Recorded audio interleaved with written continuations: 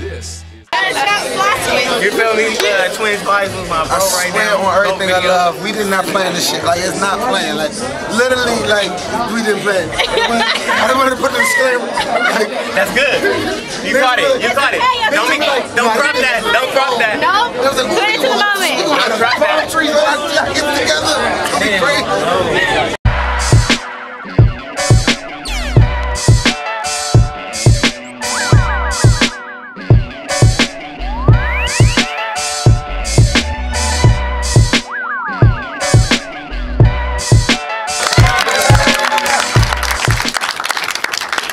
That's my thing. That's my thing. Always wanted to do the pride drive. So yeah, um, GOAT video, man. Uh, sequel on the way.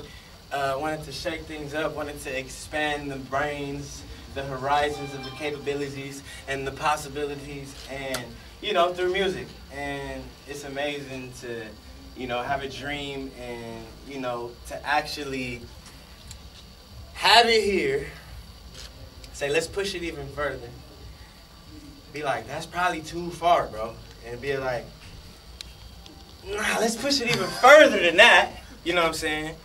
And whatever it takes, we gonna fight, we gonna climb, we gonna scratch, we Yes. gonna, you feel me? We gonna, everything is necessary because there's a certain standard that's necessary in order to be legendary. That's right. Talk your Let me say that. Church, church.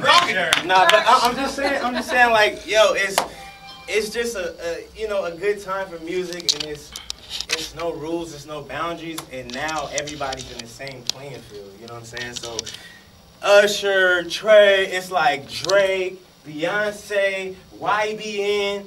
You feel me? Like SZA, it's like whoever come with the hot shit is gonna be lit. You feel me?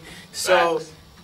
I'm just happy to be working with people that believe the same way that I believe and are just as passionate as I am about raising the bar, pushing the limit.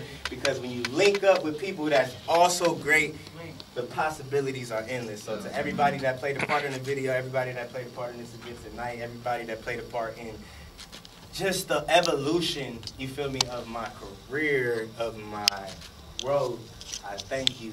I love you.